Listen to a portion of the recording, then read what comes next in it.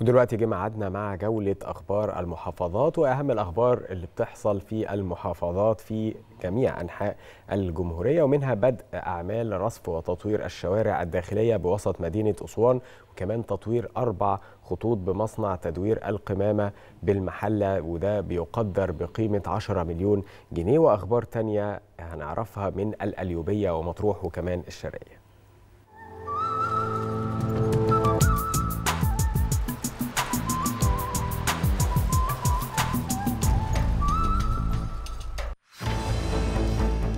في مجموعة من الأخبار المهمة اللي حصلت امبارح في المحافظات.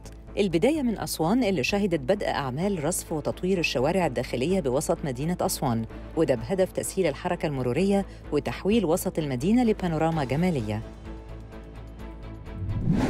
في الغربية بيتم دلوقتي تطوير أربع خطوط بمصنع تدوير القمامة بالمحلة بقيمة 10 مليون جنيه. وجه الدكتور طارق رحمي محافظ الغربية أسطول نقل المخلفات بالمحلة وبعض المراكز الأخرى بالمحافظة لنقل التراكمات إلى المدفن الصحي بالسادات بشكل يومي لحين انتهاء الأعمال بمصنع تدوير القمامة.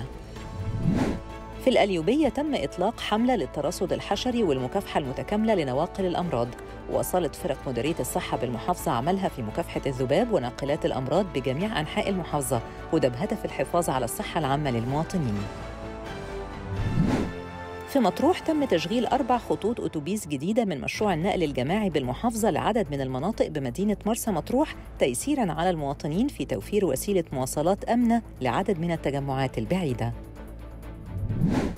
في الشرقية أكد الدكتور هشام شوقي مسعود وكيل وزارة الصحة بالشرقية إن الفرق الطبية المشاركة في المبادرة الرئاسية للكشف المبكر عن الأمراض الوراثية للأطفال المبتسرين بمحافظة الشرقية قامت بفحص 10466 طفل حتى الآن بأقسام الحضانات بمستشفيات المحافظة ضمن أعمال المبادرة الرئاسية منذ انطلاقها في أغسطس عام 2021